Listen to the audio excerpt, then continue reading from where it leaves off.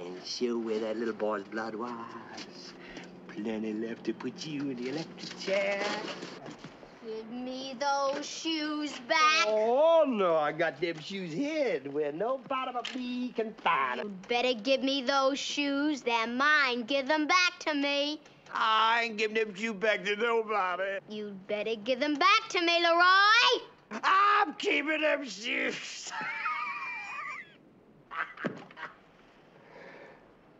Who says I got anybody's shoes except my own? You did. You get them and give them back.